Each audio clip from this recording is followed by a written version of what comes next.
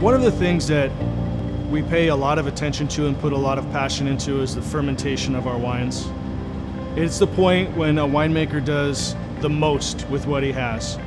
Now, our viticulturists have paid so much attention to our grapes in the field that we get them, we have really amazing fruit to start making wine with.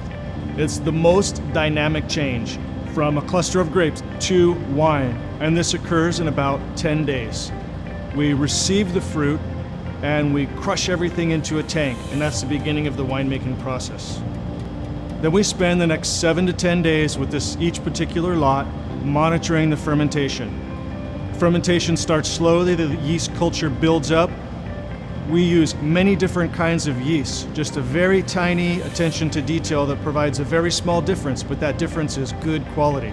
We taste twice a day and make adjustments to the maceration. That is the process of the red wine circulating or moving through the skins. This is where the extraction is. The tannin, the structure, mouthfeel of the wine is all built during this time.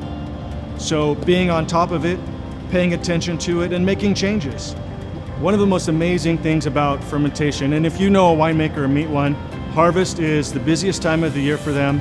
Everything that occurs in the wine, the most change, the most dynamic and amazing change from grapes to wine happens over eight to 10 weeks during harvest.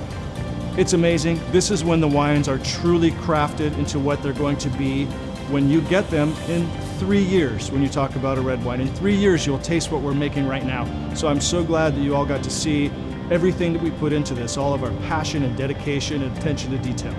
Thank you.